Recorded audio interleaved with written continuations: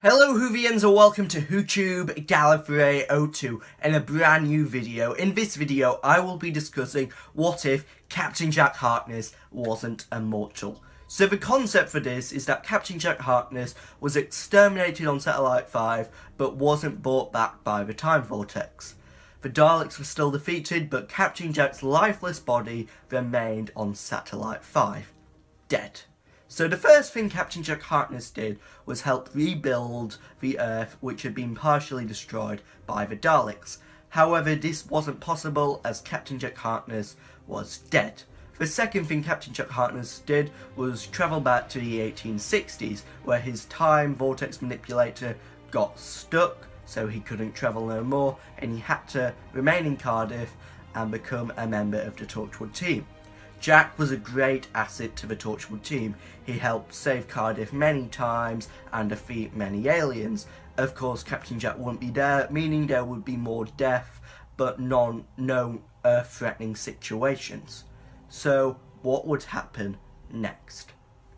Positive, Captain Jack Harkness wouldn't travel to New York in 1925 and his blood wouldn't be stolen by the three families which caused the miracle in 2011 so the events of Miracle Day wouldn't happen meaning there wouldn't be as much death and corruption in the world in 2011. So that's a positive.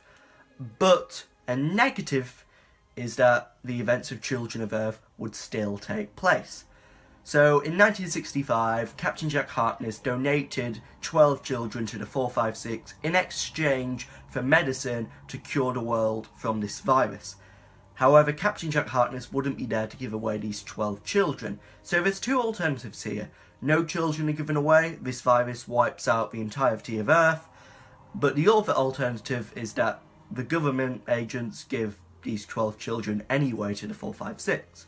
But in 2009, the 456 returns wanting more children, 10% of the children of the Earth.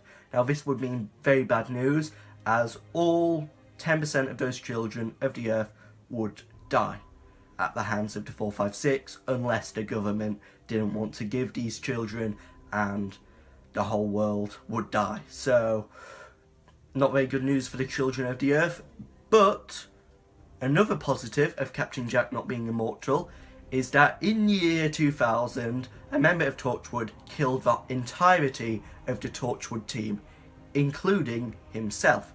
Captain Jack, however, survived this and rebuilt the Torchwood team, introducing members such as Owen and Ianto, and of course Owen opened the Torchwood Rift in 2007, meaning Abaddon would never rise from the rift and destroy a lot of Cardiff. So that would be a positive.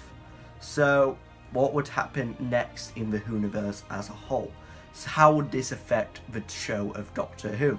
So we go to Utopia in 2007 and the Doctor lands in Cardiff and of course Captain Jack Harkness did jump on the side of the TARDIS sending it to the year 100 trillion of course, this wouldn't happen as Captain Jack wouldn't be there in Cardiff.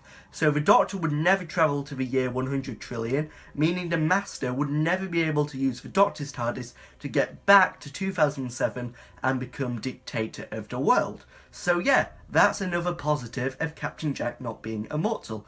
Of course, time was reversed, so it wouldn't matter anyway, but all those people in that alternative reality wouldn't die in the first place at the hands of the So, the most important part of this video is the events of the Stolen Earth and Journey's End.